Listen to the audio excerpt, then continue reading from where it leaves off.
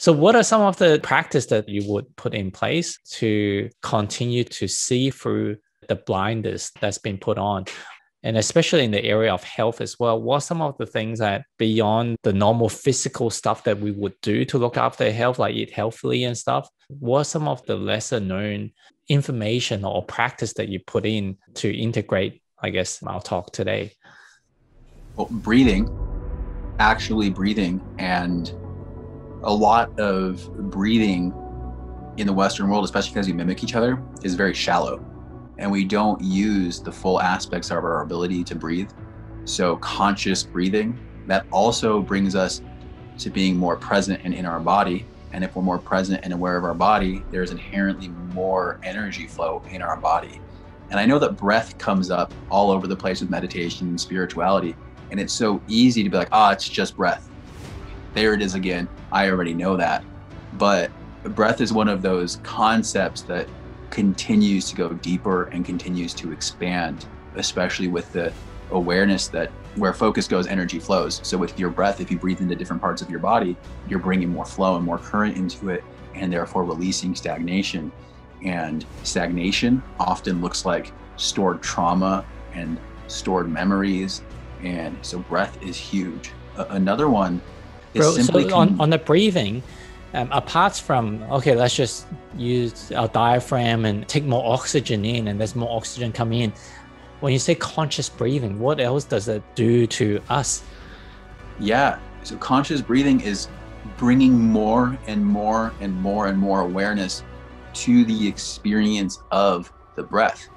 So when we're you're saying breathing with your diaphragm, also feeling the diaphragm and not just feeling the diaphragm, but feeling the edges that that, instead of calling it just oxygen or air, if you think about it as divinity or this essence, this light essence, a life force, if you consider it life force, feeling the places the life force is touching. That's more of what I mean with conscious breathing. And even in the chest, when it comes in, feeling where it is in the lungs. And it takes practice and it becomes more expansive every time you bring awareness to it.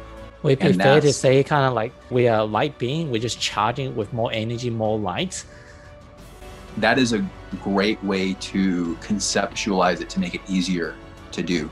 Absolutely. And when you say and like breathing into different body parts or organs, like those may need more energy, more light, and more love. And so to shine more light and love into those areas as well.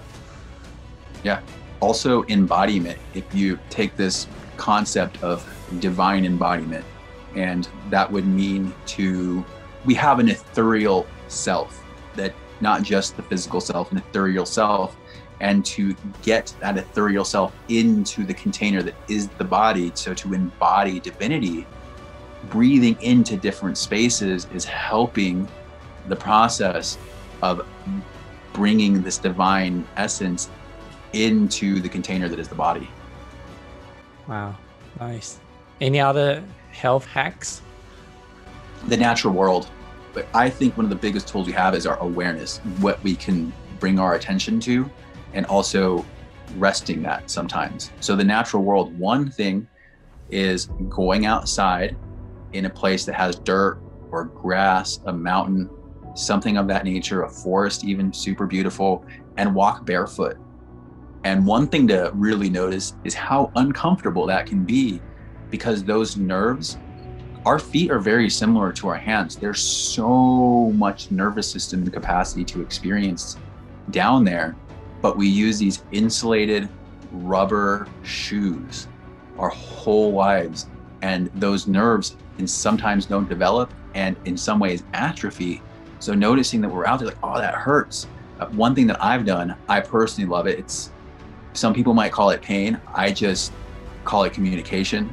I love putting my feet into really cold water and experiencing those nerves. It does hurt, but I know it's because those nerves, to them, feeling is so foreign that it's painful.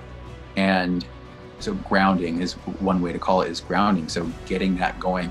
Also trees. Go and so uh, our two primary energy centers to connect with a tree is the third eye and the heart center. Put them both on a tree and then do conscious breathing on those spaces. And in that space, maybe it'll be the first time you ever do it, maybe it'll take practice. You'll start to notice that the tree and your system will start to develop a together cycle, an energetic flow. And that tree, it loves your trauma and your egoic stuff. It's just like, oh man, let me let me take that out of you and clean it up. Here's some here's some grounding energy, here's some earth energy, here's some some freshness and some stillness. Let's let's get things moving with that.